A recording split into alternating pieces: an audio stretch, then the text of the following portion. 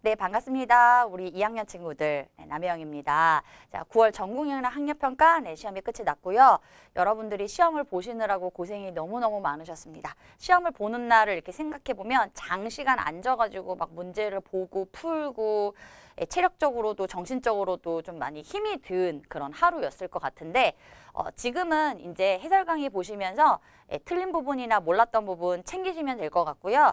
자, 그 다음 이제 중간고사를 열심히 대비하시면 될 것 같아요. 쌤이 이제 가형이에요, 이거는. 우리 자연계 친구들이에요. 가형의 앞부분입니다. 그래서 1번부터 15번까지 해설 강의 네, 진행해 보도록 하겠습니다.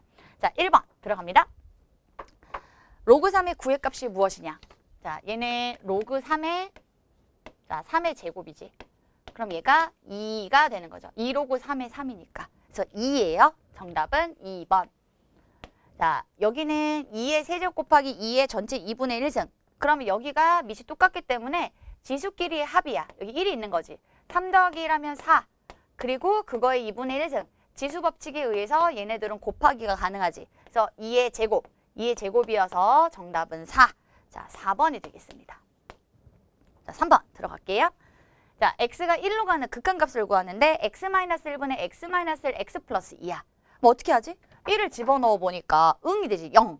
응, 응, 응. 이러면 자, 약분이 되는 위아래. 자, x-1이 딱 지금 보이니까 약분을 해 버리시고 그리고 여기서 1을 대입하는 거죠. 그래서 극한값이 뭐냐면 정답은 네, 3이 되는 거죠. 1 더하기 2가 돼서 3입니다.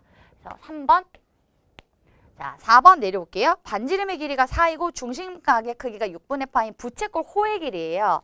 얘들아, 부채꼴 호의 길이는 L은 R세타.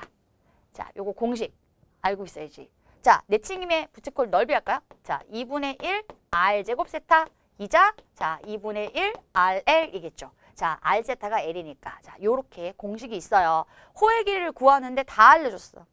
L은 R 자, 세타. 둘 곱하면 되지? 그래서 정답이 3분의 2파이. 3분의 2파이가 3번. 이렇게 해서 정답 쓰시면 되겠습니다. 자, 5번 들어갈게요. 함수 fx의 그림이 이렇게 생겼다. 그랬을 때, 자, 우극한, 좌극한의 값을 구해라. 자, 여러분들이 지금 수투 초반부의 그 문제인 거죠. 자, 좌, 우극한, 좌극한. 근데 여기 지금 보니까, 네, 마이너스 2의 오른쪽. 자, 그럼 이제 여기 볼게. X는 마이너스 2가 여기 있지. 마이너스 2를 향해 가는데 어떻게 향해 가냐면 자 플러스 오른쪽에서 다가가. 그럼 마이너스 2를 오른쪽에서 이렇게 이렇게 이렇게 다가갔을 때 나오는 함수값. 결국에 누굴 향해 가느냐? 봤더니 얘를 향해 가 얘를 향해 가. 그럴 때 극한값을 우리가 4 이렇게 쓰죠. 그래서 여기 우극한의 값이 4예요 2를 향해서 다가가 점점점 뭐를 뭘 향해 다가가는지. 자 볼게. 2가 여기 있지. 자 얘가 2예요 2. 자 2가 여기 있어요. 2가 이렇게 있는데 왼쪽에서 다가가서 볼래? 그러면 2보다 조금 왼쪽. 자 여기서 다가가서 요걸 타고 가서 보는 거야. 2로 점점점 올 때 이 함수값이 누굴 향해 가는지 누굴 향해 점자적으로 가고 있냐면 얘를 향해서. 그죠? 극한값이라고 하는 것은 함수값이랑은 달라요. 그래서 얘를 향해서 가고 있기 때문에 그랬을 때 향하는 값. 자, 요 값은 뭐예요? 2였을 때 2를 향해서 가고 있는 거죠. 그래서 얘가 2가 되는 거지. 그래서 4 더하기 2가 정답이어서 정답은 6입니다. 음, 5번.